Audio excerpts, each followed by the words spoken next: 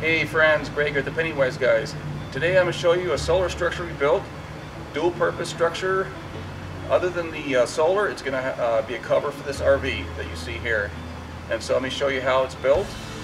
Check out other videos, we have other designs, you can check those out. Let me show you this one, let's get started.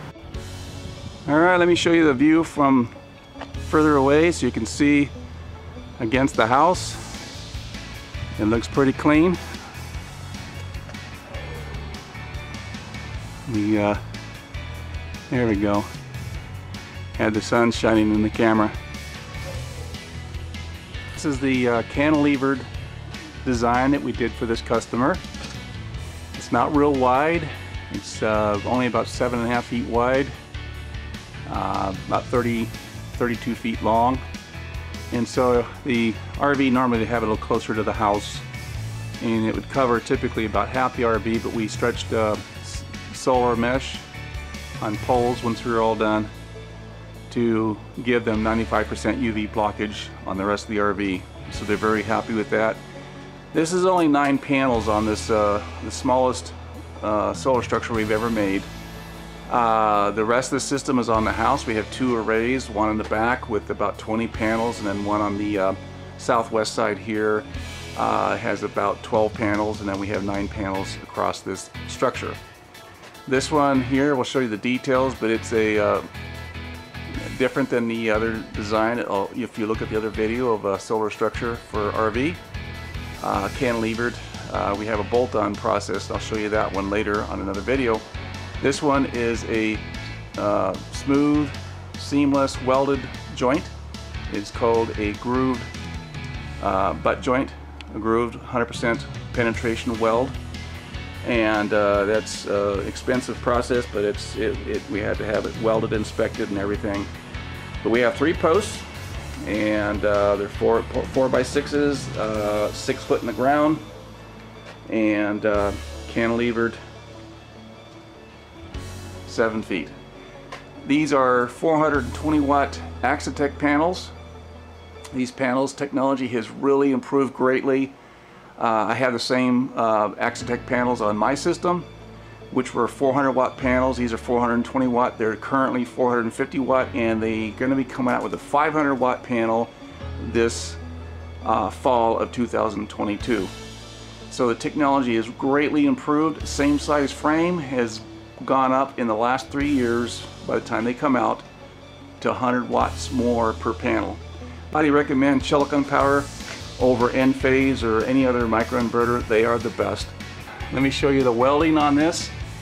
There is no, no visible weld. It's called a groove 100% penetration weld. You put a backing plate behind the weld, you do 100% penetration. You really get a good good uh, burnt uh, weld in there. You grind it down flat and it looks real nice. And so very clean looking all the way down the line here. And we have the, uh, the, the, end plate welded on, so it's both, both, both the purlin to the end plate. This just has two C purlins on, on both sides. There's no Z purlins in the middle. Bolted on to the end plates. And I don't know if you can see there, right there is another end or plate bolt uh, welded onto the post and then bolted in See the bolt, the half inch bolts going through. All right, these are the C purlins on both sides. Okay, there's no C purlins. Therefore, we don't have to have any gutter system to direct the water. The water flows down the C purlins and it's sloped two inches to the west and then it drips off down here. Okay. All right. So that's, and the panels are sealed. They're butted against each other with a, it's called a, well this is a one that we've got it mounted on the ends only. Okay, so normally if you have a Z purlin, it's called a shared rail system. I'll show you that on other videos. Being that on C, C purlins, we butt them together and we just put end clamps on the both sides, both ends, we put end clamps on both sides. And then silicone the, um, the panels together to keep them from leaking. And so use silicone and, and put a bead of silicone down the seam where they butt together. and that keeps it from leaking so you don't have a if you had a patio use this for a patio or, or a gazebo you don't want that water dripping on you. Okay so uh, that kind of seals these things to where it, it makes it uh, more leak proof the electrical on this we have two arrays on the roof on the back of the house and on the, on the side here. I'm not going to show you the arrays but you see the uh, junction box way up there? Okay. And then the, the uh, EMT right up there comes straight down here. So uh, and tied together and then it comes down over here and down to the panel. Okay. So the other um, two arrays have a SolaDeck which takes the the electrical line and puts it in the attic. We run Romex down the attic, and that so that that J box up there are the two um, Romex coming together, and then we just use straight number 10 wire down to here, down to here, and into the box. Okay, so there's a sticker that shows here's the structure here. Okay, and then there's the back array and the other other array. So those two arrays tie together and it comes down and ties in this J box right up there where the solar comes off the structure with some liquid tight so it's flexible into that J box and then down to the panel. Okay and uh, this is a solar breaker um, setup on this.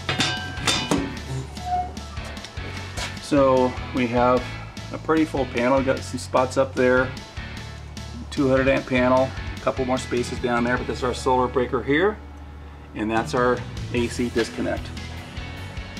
So on line side tap, we have um, a disconnect mounted here along the panel, and so then the wires coming off of the, um, the solar system go into the disconnect, and from there into the line side tap. But this is the AC breaker on this one, so that's our AC disconnect, and that's what it says there, and label it for the fire department to know where to shut the system off. All right, um, other than that, the system works out really well for this customer. We wish we would have had more room to put another row of panels. We put them on the roof. The problem was, let me show you the fence line here. It, it's enough room on the front here, but the back you can't see it, but it's angled in towards the house by several feet. And by code, we have to be three feet away from the property line, so we could not put an extra row of panels on. It would work here on this side, but not down on the other side, okay? So that's why we had to use the solar, solar mesh to give them more shade for the RV, okay? There is another structure that's like this, and I did two other um, uh, RV structures you can see as well, but there's one other that's a cantilevered structure, so check that video out, and that one has uh, full coverage for the RV in itself. Okay, so I hope this helps and inspire you to possibly do something like this or have a contractor help you do something like this. And dual purpose solar and solar shade cover for your RV. All right, have a blessed day. I sure hope you enjoyed this video and it was a help to you. Please like, subscribe, and share. Also hit that notification bell to be notified of weekly videos. I pray that you are blessed and that you know Him who is the author of life.